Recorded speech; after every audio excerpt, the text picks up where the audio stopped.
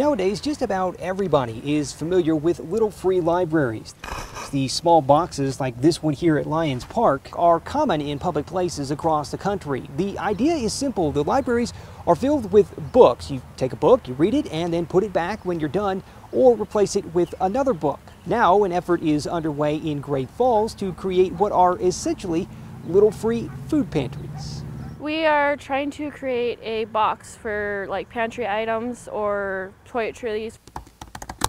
Janetta Poitra started a Facebook page on Monday morning called Great Falls, Montana Little Blessing Box Initiative, and by about the same time Friday, the group had over 80 members. I just want to give back to my community because my community has done so much for me to help me raise my family and help me with what I needed when I needed it. Some members have offered suggestions about where the boxes should be or how items in the box should be advertised. Daily, more and more people come, more and more people comment, more and more people reach out to be like, yeah, I can help with this, I can do this. So it's it's pretty amazing how much the community has already invested in this. Poitra wants to put up the first box in the Parkdale area and is hopeful it will be up by the end of the summer. Poitra expects to find out by Monday if the city will approve the box, if and when a box does go up, and for any future boxes, she hopes to hold community building events for the community to come together and help build the boxes.